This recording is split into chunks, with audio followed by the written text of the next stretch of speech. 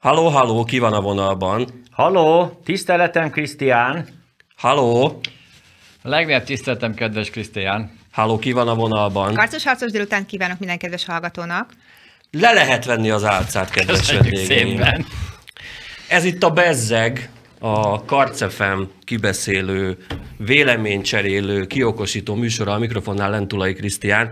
Hát tettem egy nagy kísérletet, és nagyon remélem, hogy a nézőink és a hallgatóink is örömmel fogják ezt fogadni. Ebben a kicsi játékban, akik részt vettek, azok nem csak az itt helyet foglaló három ember, hanem mindenki, aki az emlékeiből megpróbálta felidézni, hogy kinek hallhatta vajon a hangját. Úgyhogy köszöntöm a Bezzeg stúdiójában Körösi Párt, Körösi Pétert és Perlaki Szilviát. Sziasztok, köszönöm, hogy eljöttetek Sziasztok. hozzánk. Szervusz, Krisztián. Üdvözlök mindenkit. Be kell-e úgy titeket mutatni vajon? Szerintem nem, hogy a Paláver sztárjai, törzsbetelefonálói, mert aki hallgatja ezt a műsort, és most már megkockáztatom, hogy olyan nimbuszt vívtatok ki magatoknak, hogy ha titeket szeret valaki, akkor nagyon szeret, ha titeket utál valaki, akkor nagyon utál. Ez így van. És ezt én látom a műsorban, amikor az SMS-ek jönnek, én annak a töredékét nem olvasom be.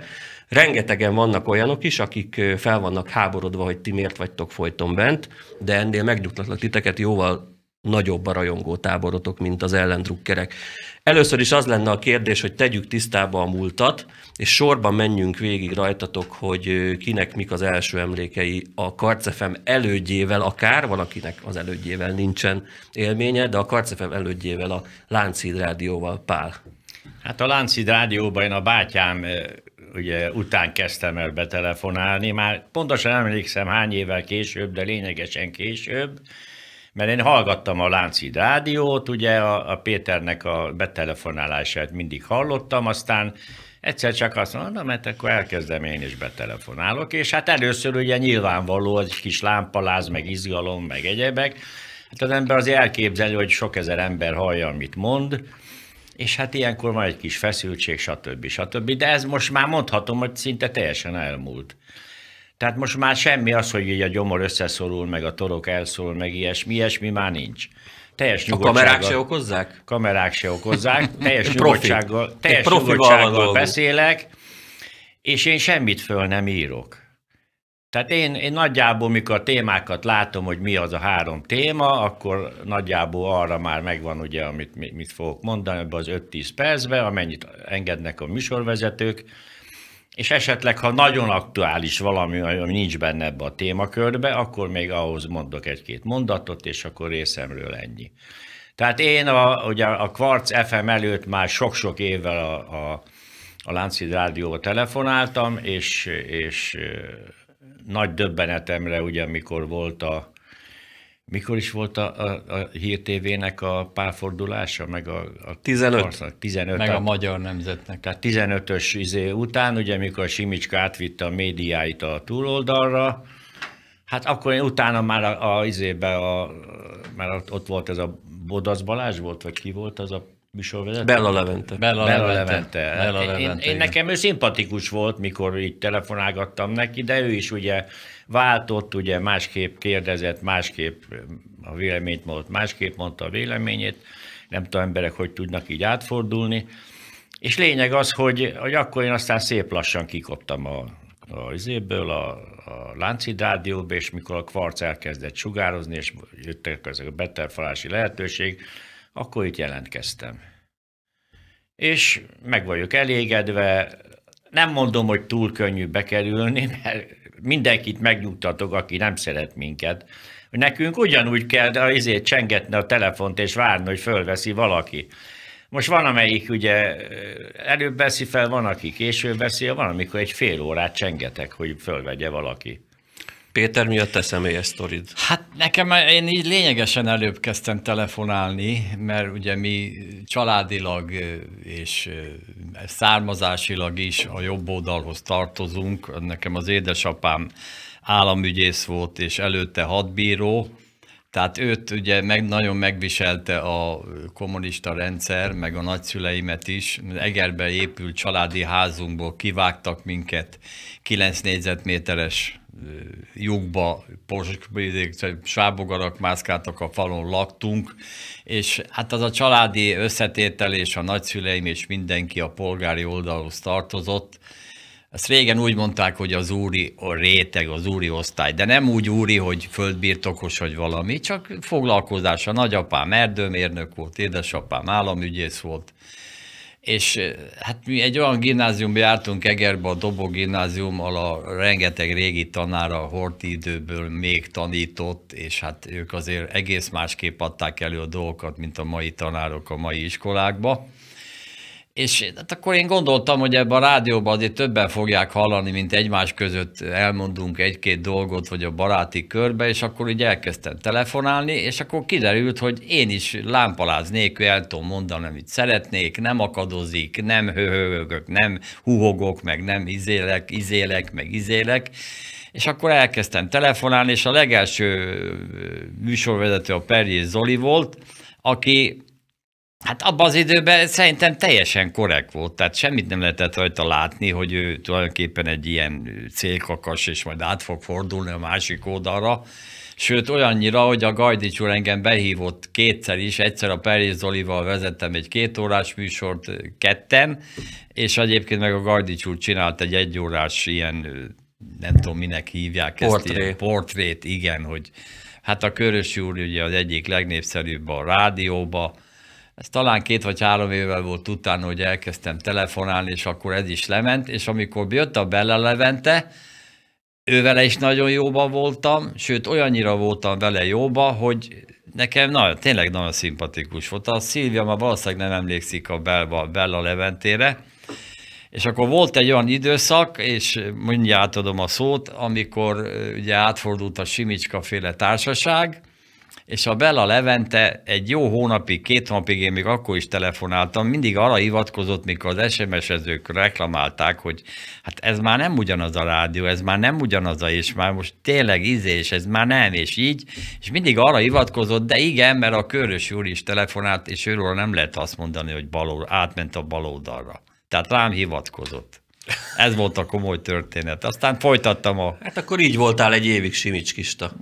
Hát már évig nem, de egy fél évig. Fél évig. Na de van itt közöttünk egy, ha jól tudom, valóban budai lány. Hát... Nem ö, teljesen? Nem, nem teljesen. Ez egy nagyon ér... Most igen. Most Budán, igen. Igen, igen, a budai oldalon, mert anyukámnak volt ez egy nagyon nagy vágya, hogy átkerülhessen a budai oldalról, mert hogy ők kilakoltatták gyerekként, és egy Dohány utcai üzlethelyiségbe rakták ki. Tehát, és az apukám oldalán is van egy elég komoly történet, meg az édesanyám oldalán rengeteg mindent, Ipoly Szalkán született anyukám, onnan is el kellett jönni, a nyolc gyereket megfogták, átjöttek egy nem tudom mivel, Úgyhogy egy elég, elég komoly apukám cserkész volt, nem engedték egyetemre, szóval, hogy mind a két oldalról ilyen súlyos terheket cipelek én is. Nekem is az iskoláim érdekesek voltak, mert ott volt még a jel 80-as években, ezt ha hiszik, ha nem, de így van.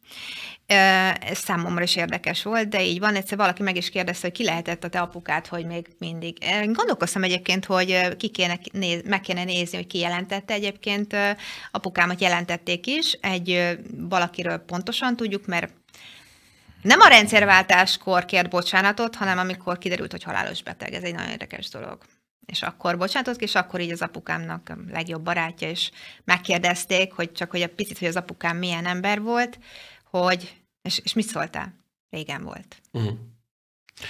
Ő egy, és csak annyit szeretnék mondani, hogy hogy kerültem be a telefonálós műsorba. Igen, te viszonylag újnak számítasz. Én Itt igen, most meg is lepődtünk, mert én is azt hittem, hogy jóval régebb óta. De Igen, egy ilyen három-négy éves történet, igen. igen. Hát az úgy volt, hogy én picit éltem külföldön, aztán hazajöttem, akkor kicsit úgy összezuhantam, aztán összezett, összeszedtem magam, és anyukám mindig hallgatta a kacrádét, és mondta, hogy jó, jó, itt vannak a körösék, meg még egy-két komoly betelefonáló van, itt törzs betelefonáló, hallgass Szilvi meg. Hát mondom, anyu, jó van, jó van, el vagyok én a saját dolgommal. És akkor utána elkezdtem hallgatni, és akkor mondtam, hogy te figyelj, amikor majd a körösségek vannak, akkor szóljál, légy szíves, és akkor mindig úgy jött, akkor szólt, és akkor rohantam, meg, meg egy-két, és akkor egyszer csak úgy éreztem, hogy talán én is hozzá tudok tenni ehhez valamit, mert talán a fiatalokat jobban látom az internet miatt, meg egy csomó dolgot talán jobban átlátok, hogy milyen szinten mossák az agyukat, hogy, hogy milyen tendencia van a világban, és akkor így elkezdtem én is, és, és anyukám nagyon féltett egyébként, ezt hozzá kell tenni, mert hogy ő, őt azért a, lak, a, lak, a házkutatások meg minden miatt azért benne egy erős félelem van, és akkor mondtam anyunak, hogy te figyelj, most ha félek, ha nem, valamit csinálni kell. Mert legalább, hogyha egyszer meghalok, majd a Jóisten azt mondja, legalább megpróbáltad.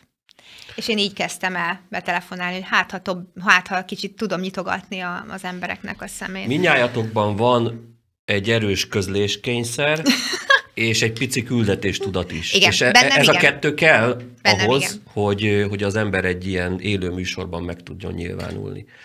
Viszont emellé a kettő mellé van egy törvényszerű következmény, hogy ez felelősséggel jár, és innentől kezdve nem sorba megyünk, aki ahogyan érzi, nyugodtan szóljon hozzá. Ezt a felelősséget érzitek-e a vállatokon? Érzitek-e azt, hogy, hogy ha esetleg mondtok egy olyat, ami nem úgy sikerült, amit, ami mondjuk egy hét múlva, két hét múlva kiderül, hogy nem is volt olyan jó elképzelés, és azt hallgatták 15 ezeren, 30 ezeren, 100 ezeren, hogy érzitek-e ennek a súlyát? Hogy majd, majdnem, mintha újságíró szerepben lennétek. Én ezt tökéletesen érzem, mert engem többször, kb. tízszer felé volt egy kanadai hölgy. Kanadai. És ö, paralel az internet miatt tudják hallgatni a Lánchíd rádiót. Karcefemet. És a karcefemet, igen. És elmondta, hogy a barátnőivel összejönnek, és minden áldott alkalommal meghallgatják a karcrádiót, és sokkal többet tudnak meg belőle, mint bármilyen kanadai újságból. És hát azt mondja, különösen azt mondja, egy időben a Vajdát is szerette, meg a Szilviáról is szokott beszélni, meg hát most már ugye az öcsém is telefonál, és elmondta, hogy nehogy abba hagyjuk, mert a külföldi magyaroknak is nagyon fontos, és ők is szavazók. Tehát én, amikor elkezdtem, nekem az volt az elsőrendű elképzelés, csak öt ember tudok átfordítani az országba, a jó oldalra, mert hát lássuk be, hogy ez a jó oldal, akárki akármit hazudozik össze-vissza, hát a másik oldal a hazánk vesztére tör. Olyanok, mint ahogy már egyszer beszéltünk az Egri várba, a hegedűs hadnagy. Hát hogy lehet arra az oldalra állni a hegedűs hadnagy oldalára? Mi csak ezen az oldalon lehetünk, Doba István és, és, a, és a, hogy hívják, Bornemisza Gergely oldalán, és ez a jó oldal, az Orbán oldala, a Fidesz oldala, és most látszik, hogy itt van ez a háború, és most látszik, hogy egész Európa gyakorlatilag agymosáson ment keresztül, egy mondat a végére, hogy ez a bizonyos külügyminiszter, aki a zöldeknél van, kiderült még közenkutatásból, hogy ő a legnépszerűbb politikus. Ilyen fokon mosták át a németek agyát Németországba. Vehetek egy nagy levegőt? Felelősség még a téma. Igen, ezt szeretném. Én, amikről beszélek, azok általában van, hogy eltér a napi témától, de én annak mindig nagyon utána járok. Tehát én, ha bármit bedobok a közösbe, vagy bármiről beszélek, az egy nagyon komoly kutató munkának az eredménye. És ez egyébként nagyon érdekes, mert megismerkedtem nem a Körösi úrral, de Szentendrén egy házaspárral, egy idős házaspárral, és hát amikor megtudták, hogy én ki vagyok, hát olyan boldogok voltak, hogy el se, nem, nem akarták elhinni.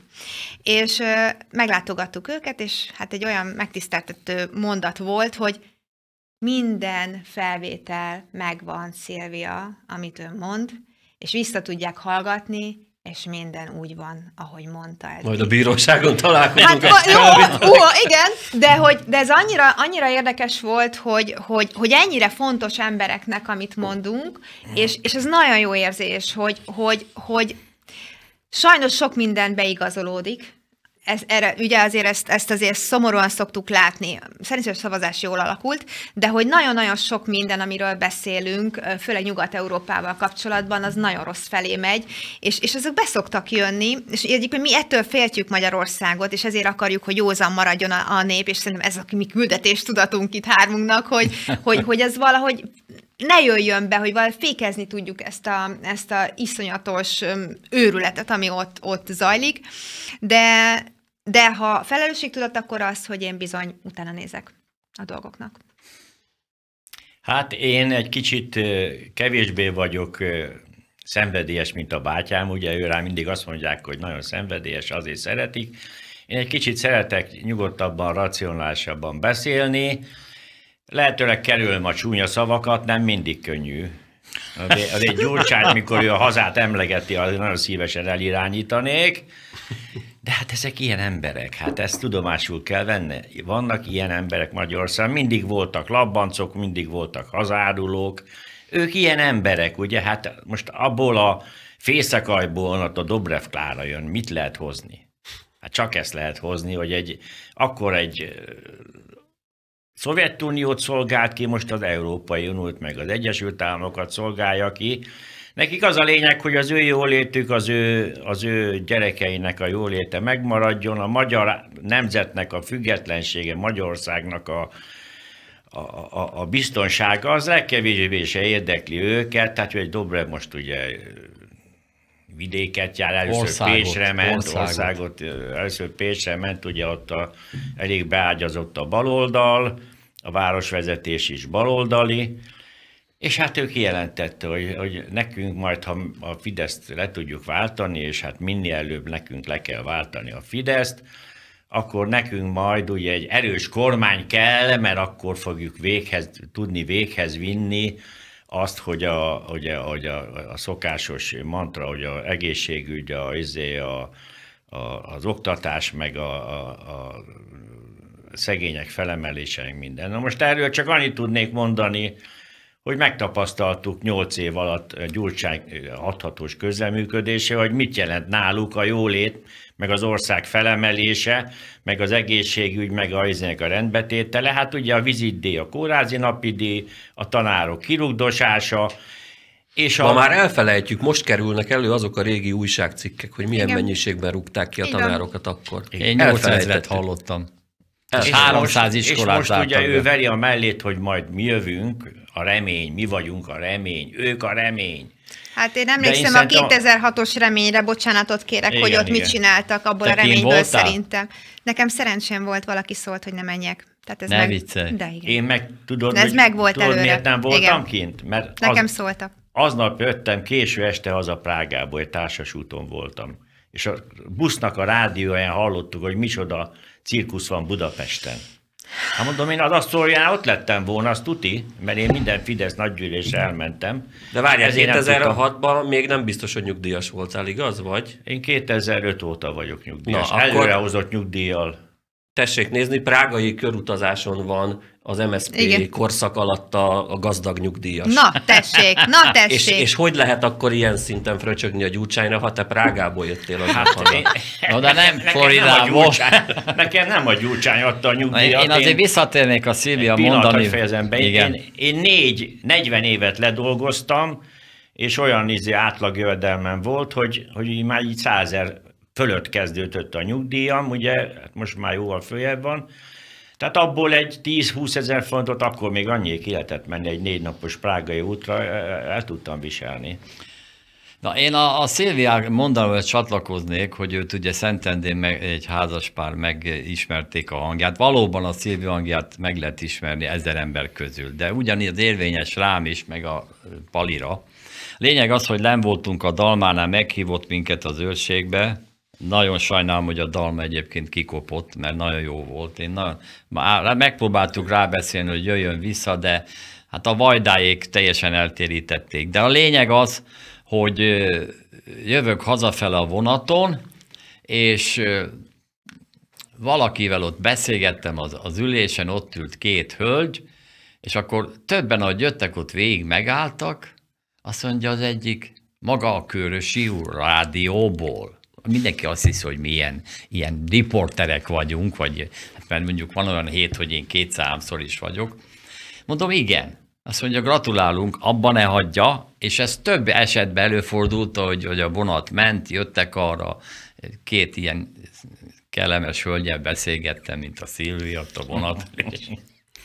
Az ember ott ül egyedül már valamit. Egyébként érdekes, hogy a hangunkról megismernek. Engem is utcán leszólítottak, amikor beszélgettem valakivel, és ez egy annyira érdekes dolog, hogy, hogy valaki azt mondja, hogy hát ez, ez, ez milyen jó nap volt neki. Hogy ugye biztos, hogy, hát hogy veletek is előfordul. De hogy veletek is biztos előfordul, és azért az olyan Mikor szép volt dolog. A, volt a békemet most legutóbb a választás előtt március 15-én akkor ott ültünk le a nyugati térnél, a bátyámmal beszélgettünk, és többen odajöttek. Bizony.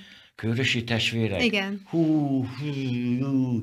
de örülünk, hogy. Tehát Én ennél a jobb harmadik közönk testvért kutatás is. nincs, hogy az emberek Nem, hallgatják a rádiót, Krisztián. Hallgatják.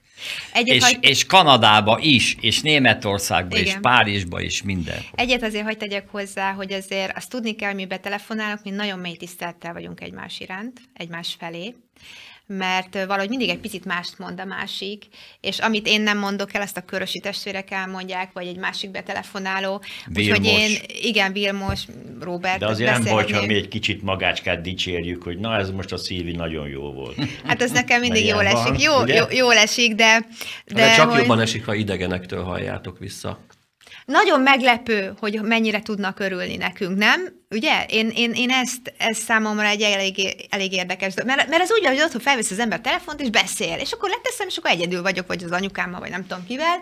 De amikor az embert az utcán megismerik, az egy, az egy nagy, meg hát nincs arc hozzá, csak a hangra. Volt egy színházban Na megfordult most már valaki. a szombattól, mikor Új, ez új, lemegy a új, YouTube-on, új. már arc is De volt hozzá. ilyen, hogy a színházban megfordult, hogy ugye maga a szív, és akkor, hát mondom, igen, és akkor mindenki elkezdett megfordulni, szóval ezek nagyon érdekes Csak dolgok, a de piacon belégvágja a kést valami bolsi gazember. hát én nagyon remélem, nagyon remélem, hogy nem, és azért ezt még hozzátenném, hogy én azért nagyon büszke vagyok a hazámra. Tehát itt, itt nincs, néha elégedetlenkedünk, meg ezt mondjuk, meg azt mondjuk, de én a körösségekkel is egy, nagyon egyetértek, hogy, hogy azért mutassunk már egy olyan demokratikusan megválasztott kormányt, aki négyszer egymás után kétharmaddal keresztény konzervatív pártot választ. Tehát, hogy egyszerűen én annyira büszke vagyok a hazámra, hogy, hogy azért ez a vók, ugye, úgy hívják ezt a kultúrát, azért Igen. annyira nem tudta megfertőzni, és egyre több fiat, egyébként én fiatalokkal is beszélgetek, és próbálom ö, nekik is elmagyarázni ezeket a dolgokat, és, és látom, hogy megértik, és ez, ez engem olyan büszkeséggel tölt el, hogy egy olyan hazában élek, ahol ö, ahol ez így rendben van. Nem tudom, meddig lesz rendben, mert hogy ez az internet, meg ez a, ez a mételjezés folyamatos, de, de hát nekem ez nagyon nagy büszkeség. Én még egy, egy dolgot már még ebben a felelősségvállással kapcsolatban, betel felelősségvállással kapcsolatos témában még nem mondtam semmit. Szóval az ember ezt folyamatosan érzi.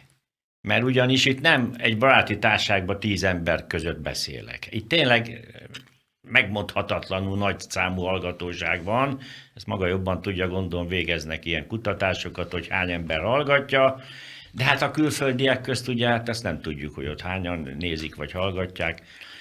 Tehát az ember fontosan érzi azt, hogy hülyeséget ne mondjak már, meg, meg nagyon elfogult, meg nagyon véres száj, hogy ne legyek már, mert az inkább taszít, mint, mint vonz, úgyhogy, úgyhogy én ezt érzem maximálisan, és ezt csak így lehet csinálni, mert néha itt azért én is hallok olyan betelefonálókat, akiknek elgulva a gyógyszer és minden hülyeséget beszélnek, egyrészt nem a valóságot mondják, hanem, hanem ilyen hiedelmekkel kapcsolatban. Például van ez a, maga is szokta hallani, ez a, ak- akik mindig a nyugdíj témát feszegetik, Igen. hogy miért annyi, meg miért nem egyforma, meg miért így, meg miért. Tudomásul kell venni, ez közgazdasági dolog. Ezt, ezt én hagyd cáfoljam meg, jó? Tehát azért azt vegyük tudomásul. Bocsánat, hogy közbeszólok, de ez nagyon fontos. Volt egy réteg, akit ellehetetlenítettek, nem, jöhet, nem mehettek iskolába, például az én apukám. Csak szakmunkásnak tanulhatott. Ezért nem is kerülhetett soha olyan helyre, olyan munkába, hogy jó fizetése legyen. Nem azért nem ment egyetemre, mert nem volt jó, hanem azért, mert cserkészvezető volt. Az én anyukámnak ugyanez az oldala. Az ő nagybácsia nevelte fel, Geiger Miklós volt, hagy nem mondjam, hogy voltak Geiger per, volt egy ilyen koncepciós per, és annak egy részese András út. Anyukám is el volt vágva. Ők egyszerűen nem kerülhettek olyan helyzetbe. Tehát aki eleve csak 800 forintos fizetéssel kezdhette, vagy, vagy élhetett, annak nem volt rá lehetősége. És ezt érezzük igazságtalannak, hogyha ezt most akkor végre helyre tudjuk tenni, mert valójában valljuk be, akik ávósok voltak, jelentettek, azoknak hozzá lett csapva a jelentésért volt egy összeg, ezt mi pontosan tudjuk. Bizony, akik jelentettek, azoknak volt még egy keretösszeg, és abból van kiszámolva a magas nyugdíjuk, és itt nem a körösi úrokra gondolunk meg, akik ledolgozták tényleg úgy, és szerencsések voltak az életben, hanem van egy olyan réteg, aki régen is nagyon jól megélt, hogy jelentett, és jelen pillanatban abból is nagyon jó nyugdíja van, hogy ő régen jelentett. És ott van egy olyan réteg, akiket jelentettek, és azoknak bizony mai nap is százezer körül van a nyugdíja. Tehát én ezért, ezért van, és ezt el szoktuk felejteni, hogy itt van, itt van a probléma. Mi nem irigyek vagyunk. Ezt igazságtalanak érezzük, Ebben hogy minket egy életen át jelentettek, Szilvia. apukámat nem egy ember jelentett. Egyébként ki akarjuk venni ezt, hogy ki jelentette, be lehet menni, ugye megnézni, hogy édesapám Ki lehet 18 kérni, éve halt gondolom. meg, de azért most úgy arra gondoltunk, anyu, hogy most nézzük már meg, hogy ki volt az, aki Engem érdekelne. jelentette. Engem az Van, érdekelne. akiről tudjuk, és én még kettőt szerintem tudok érzésből, úgyhogy érdekes lenne. De, de azt tudomásul kell venni, hogy akik betelefonálnak és a nyugdíjról beszélnek, az nem biztos, hogy azért volt, mert ő mutyizott, vagy nem tudom, és nem, nem adózott. Eleve állami cégnél dolgoztunk, nem is lehetett mit csinálni, meg nem kerülhettek olyan helyzetbe. És ezért igazságtalan, hogy akik jelentettek, azok meg fényesen élik, mondjuk, Szilvia, hogy én, hol. Én ezt mind aláírom. Én mindezt De ezt, aláírom, és ezt ez tényleg azért, igazságtalan. de ezt így kell, tehát azért ezt meg kell, hogy Igen, csak meg kell aki, aki érteni. nyugdíjügyben kritikával jelentkezik be a műsorba, azt meg te értsd meg, hogy a fele kétharmada azért telefonál be nyugdíjügyben, hogy üssön a Fideszen. Értem azt, Persze, értem. persze. És ez, viszont ki, ezt is, ez viszont, kiérződik. de viszont sokszor azt érzem, hogy ez, ez valahogy nincs megbeszélve egyébként a, a, a, kormányon, hogy, hogy, ez, hogy ez hogyan lehetne mondjuk ezt csak Szilvia, megbeszélni, hogy emlékszel, mikor az Orbán kormány az első tudom, próbálta. Én a tudom. Kis, kis nyugdíjasoknak Tudom. magasabb százalékban Tudom. emelt. És elmentek az olyan alkotmánybírósághoz belőle, hogy a nem igaz, baloldal. hogy mi az, hogy azok többet kapnak, mint Hát de, ki, de kinek volt problémája, akik jelentettek régen. Akinek több van, abban nincs De neki belátás. nem mindegy, mikor neki úgyis sok a nyugdíja. Pontosan. De Na, a következő kérdés a jelenlévőkhöz. Volt-e bármikor a rendszerváltás után politikai ambíciója valamelyik kötöknek? Én nekem nem. Nekem soha. se. Nekünk a kizből elég volt.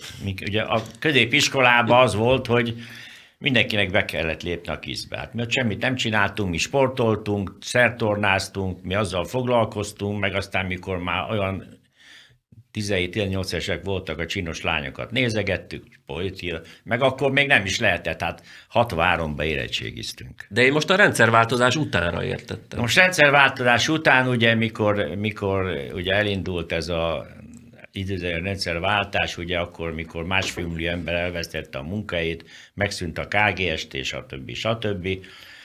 Hát akkor ugye én először megmondom, hogy szánom bánom bűneimet, és a bátyám is első választás, a SDS. 90-es választás, SDS minket be, beüített, tehát ők olyan kommunista ellenesek voltak, persze. ismerjük hogy a az nem igaz. ismerjük, sokan hát vagyunk. Csak az SDS, hát ki lehetne más, ugye? Az MDF nyert. Olyan, mint Istennek. a részgyűrű, amit aranynak Így hisznek. van. De utána, mikor ugye a, a, a taxis blokkád, és akkor ugye volt ez a 2000...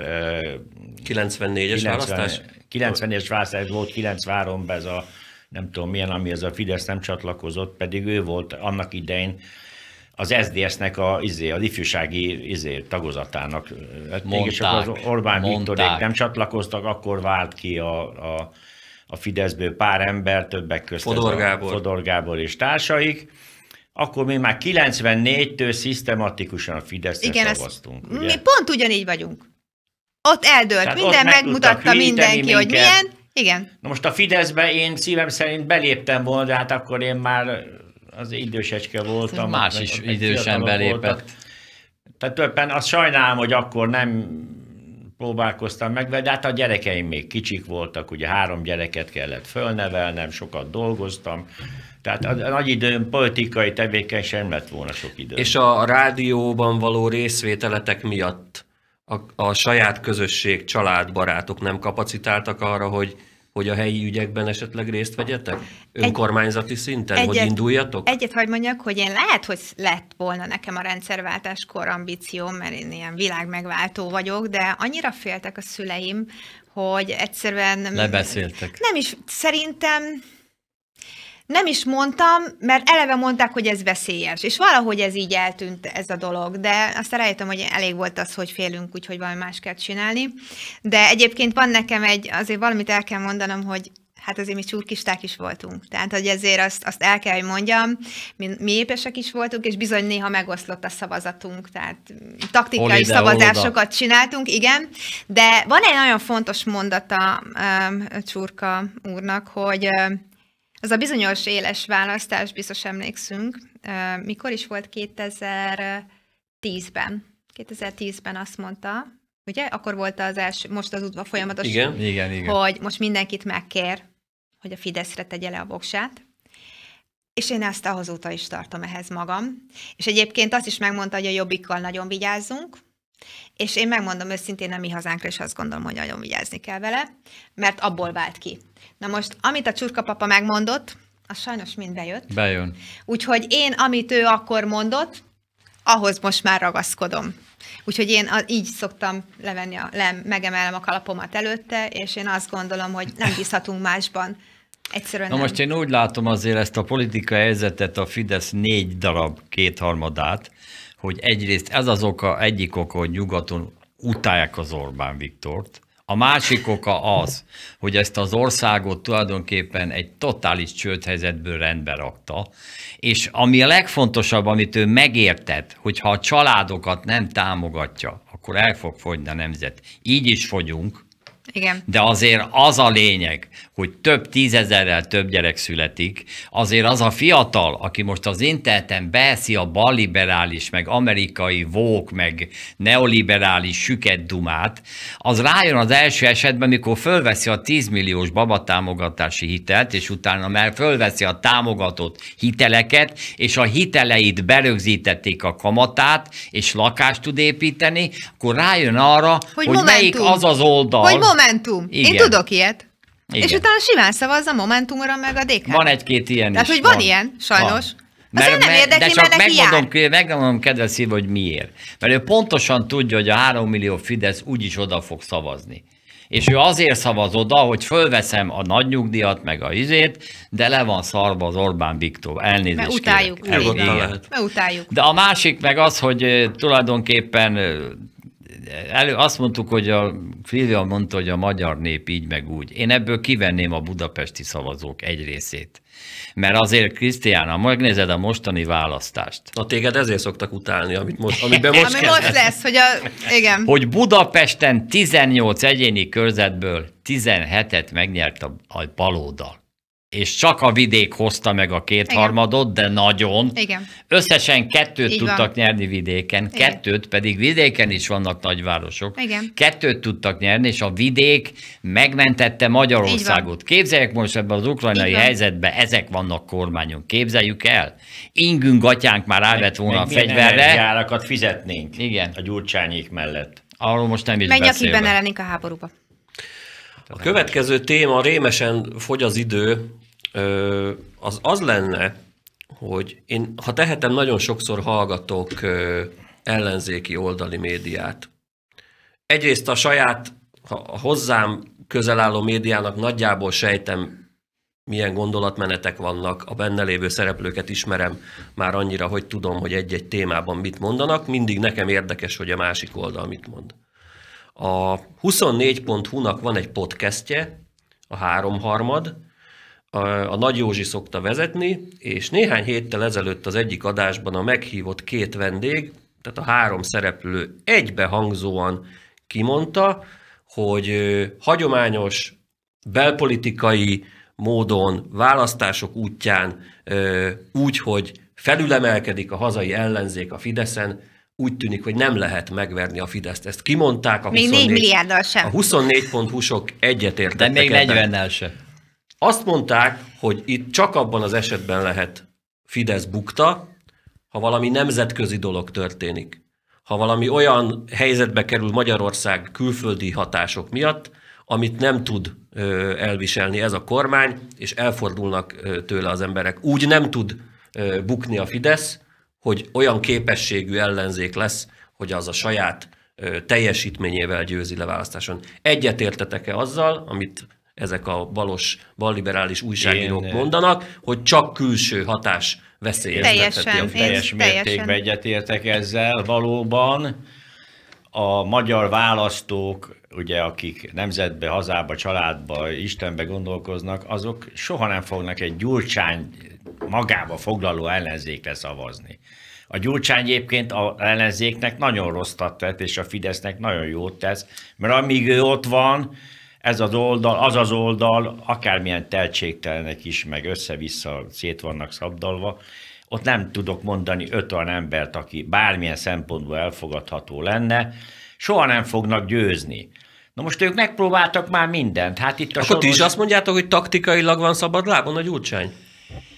Hát Az jó a Ez is Fidesznek? benne lehet, de oda került a felesége, és akkor még nála is demagógabb, meg De- nála is hazugabb, mert itt jön ilyen bangladesek, hogy Magyarország Banglades szintjén, az a nő teljesen Bangladesh. hülye. Nem tudok más mondani, ekkora baromsággal nem lehet választókat nyerni. Én azon- A másik az, egy, egy másodperc, a másik az, hogy tulajdonképpen abban igazuk van neki, hogy ezt a három millió szavazót soha nem fogják legyőzni, de most megjött az a helyzet, amiből ők reménykedtek, az ukrán a szankciók, a hatalmas infláció, és a Fidesz támogatottsága most sem csökkent, mert kivédte nagy részét, és lecikizik ezt az úgynevezett árögzített dolgokat.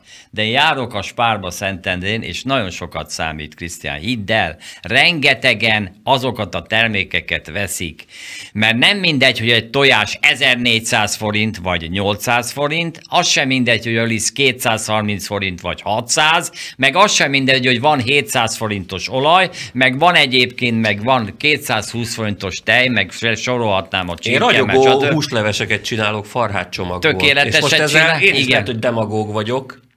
De, de, de minden, embernek minden fontos? megpróbáltak. Nekem nem létkérdés, de ez hány Azt is embernek? És próbál- nyugdíjasoknak? Azt is megpróbálták, hogy esetleg a Fidesz amerikai pénzzel, amerikai tanácsadókkal, mindenfajta mocsok, hazugsággal, és így sem sikerült. Én azt tudom mondani, hogy semmilyen külföldi esemény olyan nem tud történni, hogy a 3 millió Fidesz elforduljon, Fidesz szavazó, mert egyszerűen nem lehet elfordulni, ahogy az Egrivár védők se fordultak el Dobó Istvántól, és ott legyőzték a törököt. Orbán Viktor mellett le fogjuk győzni a nyugati Én egy gazembereket, és nem fogunk Egy elfordulni. dolgot tudok elképzelni, ami elképzelhetetlen, hogyha nyílt katonai beavatkozással akarnák meg. Hát, hogyha egy olyan pucsot csinálnak, mint mondjuk Ukrajnában, 14-ben, Azt nem tudják, arra nincs, nincs elég vevő itten, hanem az a nagyon érdekes, én arra amiről... gondolok, hogy egy, egy komoly hadsereg bejönne, és, és az elfoglalná az országot, és a báb kormányt ugye Igen. hatalomba rakná. Én De ezt- ez, ez egy NATO és egy EU tagnál is egy... Ezt, ezt nem merik megcsinálni. Igen, Ez- de, ez de, azért, de azért nézzük meg, hogy most azért embereket ütöttek le az utcán. Tehát, hogy azért elindul egy olyan agresszivitás Magyarország felé, a nép felé, ami egyszer megdöbbentő. Én azt érzem, hogy ez már ilyen kényszeres, hogy annyira nem tudnak velünk mit csinálni, hogy elkezdenek ütlegelni, mint amikor a rossz gyerekkel már nem tudom mit Szívja. csinálni, és Ez akkor... visszára fordul, mert Most- Most... mindenki azt mondja, hogy én meg nyugodtan meg, utcán jön egy ilyen csapat barom és leüt engem, hát ezeket kéne, hogy támogassam. Én, nem, nem, nem, nem, én nem erre gondolok, de ar- arra igen, hogy, hogy próbálnak mindent kirobbantani, tehát valamit robbantani akarnak az emberekben, hogy, hogy visszavágjanak, és ezért volt, hogy kéri mindenki, hogy nehogy egy visszavágás legyen, hogy nehogy az ultrák elkezdjenek mondjuk visszavágni, és akkor, mert, mert akkor ez tényleg katasztrófa lesz, és akkor én erre mondom, hogy de azért mégiscsak józan a magyar nép, és mégiscsak odafigyel erre a dologra, és ha itt most megemlíthetem azt, hogy Nincs még a világon egy olyan ország, aki a béke mellett áll ki. És én azt gondolom, A hogy pápa most. és Vatikán. De kezdjük, hogy mi előbb csináltuk, és akkor minden tiszteletem a pápáé, de azért én azt gondolom, hogy Orbán Viktor az első pillanatban ezt mondta, a pápának eszem egy fél év kellett hozzá. És én azt gondolom, hogy az a nép, aki egy ilyen, ilyen vezetőt tud megválasztani, bizony legyünk büszkék magunkra is, nyugodtan meg lehet veregetni magunk a saját vállunkat, és mm, én azt gondolom, hogy nem tudom, hol a vége ennek a műsornak, de hogy aki még nem annyira hisz a jó Istenbe, vagy néha eltéved, nagyon gyorsan kezdjünk el imádkozni, mert nem tudjuk, hogy mi fog történni, mert eszkalálódnak a dolgok, Most és ezt csak azért egy- gondoltam, hogy több hitre van még nálunk Igen, is igazad szükség. van. Egy megjegyzésem erre, hogy csak az Orbán meg a pápa. Nem tudjuk, hogy Latin Amerika, egész Latin Amerika. Igaz. Ázsiának egy jó része, tehát Igaz. Kínától. Akkor Európáról Kína most kijelentette, Igen. hogy ők is a békét szeretnék. Igen. India, ugye, ott van Pakisztán, ott van, ott van még egy csomó egyéb ország. Tehát nem a nyugati, a nyugati szövetség, tehát nem az Atlanti Szövetség és annak a vonzásköre, de még Izrael se tartozik ide, ők is a De a azt békért- kimondhatjuk, hogy egy van, aki kimondja. Egy éve Hát Jó, folyamatosan, jó, persze, persze, bátran széllel szemben. vitás, De és viszont, akkor mi vagyunk a rosszak, mert a békét akarjuk. Én egy dologtól félek inkább, sokkal inkább, mint arról, hogy az embereket el tudják az Orbán Viktor és a Fidesztől fordítani. Az, hogy nehogy megkísérjenek egy merényletet az Orbán Viktor ellen, de még akkor sem lesz baloldali kormány, mert akkor a helyére áll a Szijjártó, aki zseniális. É. Szerintem a Szijjártó Csodálatos. zseniális Csodálatos. minden szempontból, de, de, de lenne még a Fideszben más is. És akkor a nép csak azért is oda fog Azért szavazni. a magyar nép olyan, hogyha betámadják, akkor még erősebben. Így van. Hát az Orbán Viktorral bármi történne, akkor a következő választáson négy ötödöt kapna a Fidesz. Ne legyen ne semmi. Történjen, ne, ne legyen semmi. Csak mondom, ha, ha, tehát én se. Nem fog, mert imádkozunk sűrűn. Ha eddig megúszta ezt, hogy szembeáll az egész izével, az egész háttérhatalommal, akkor reméljük, hogy meg... Ennek a műsornak a bezzegnek a végén bárki is legyen a vendég, általában egy vendég van, most ez egy különleges alkalom, hogy hárman vagytok itt. Legyen az politikus, újságíró vagy művész, ugyanazt a kérdést megkapja mindenki, ez két kérdésből áll. Az időre, ha nézek, arra kérlek titeket, hogy a lehető legrövidebben érveljetek, mert el fog szaladni az idő. Az első kérdés az az, mivel jobboldali konzervatív ö, ideológiát, nézetet valló vendégek vagytok, ezért pont az a csavar a kérdésben, hogy nevezzetek meg olyan kormányintézkedést, amit kritikával tudtok illetni. Vagy olyat nevezzetek meg, ami meg kéne történjen, és még mindig nem történt meg. Én, én az oktatás terén mondanék néhány dolgot, ugye?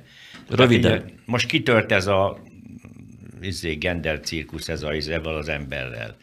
Tehát itt Budapesten ezek az elit gimnáziumok mind, mind belterjes, liberális, és izé baloldali fészkek. Tehát itt ebben nem nyúltak be az Orbánék, pedig bele kéne. Tehát akkor van egy késlekedés ez ügyben, hogy szig- ott, nagyobb ott van szigor. késlekedés, és a másik példa az eltének, ugye az a jogi kara, ahol egy, egy, egy, egy tanár, egy, egy, egy Fleck Zoltán, Fleck Zoltán mondjuk a nevét. A, a, a alkotmás rende elleni lázításra szólít fel. Hogy maradhat ő a helyén? Már réges-rég ki kellett volna annak rakni.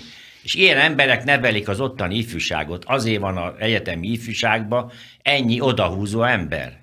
Pál, tehát én, nagyobb szigort, Péter? Én, én ugyanezt mondanám, de én a bíróságok esetében gondolom, hogy ott is nagy problémák vannak, mert az, hogy például ennek a, ennek a szombathelyi ügyvédnek a az ügye, ahol 4 vagy 5 milliárdos károkozás van. Hat. Ceglédi Csaba. Ceglédi Csaba. 5 vagy 6 éve hallik, és az ember ma elmert indulni, mint, mint képviselő, igaz, hogy kikapott, és ott vigyorog és röhög, és magasról tesz az egészre, mert tudja, hogy a bíróságok az ő kezükben vannak.